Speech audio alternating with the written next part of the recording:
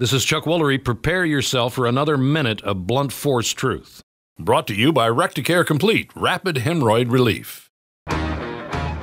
Well, creepy porn star lawyer Michael Avenatti is still hoping for a presidential run in 2020.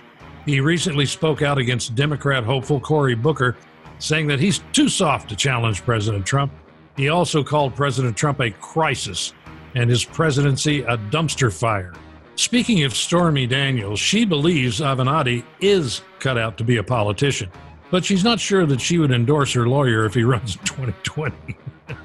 Personally, I think he should run in 2020. He embarrassed himself publicly during Judge Brett Kavanaugh's hearings and allowed the American people to see just who the Democrats are willing to align themselves with. So if Avenatti was Trump's challenger in the presidential race, there would be no contest. I'm Chuck Woolery. For more trending news, go to bluntforcetruth.com.